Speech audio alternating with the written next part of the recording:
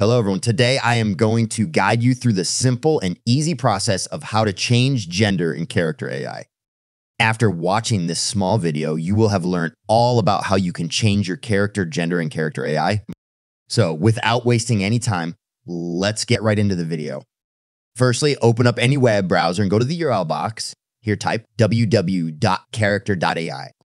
Now, you need to wait for the website to load, and after that, you will be on the official website so if you are looking to change your gender, for example, if you want to change the gender of a character, then to do that, simply click the create icon located on left side of the page. This will give you three options.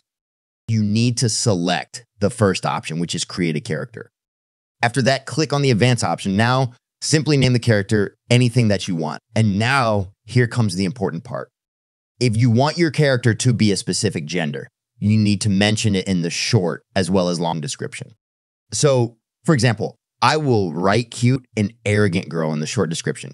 For the long description, you can write all the details like gender, age, personality traits, looks, and everything. Basically, just make sure that you've mentioned the gender somewhere in your description in order for it to be reflected on your character.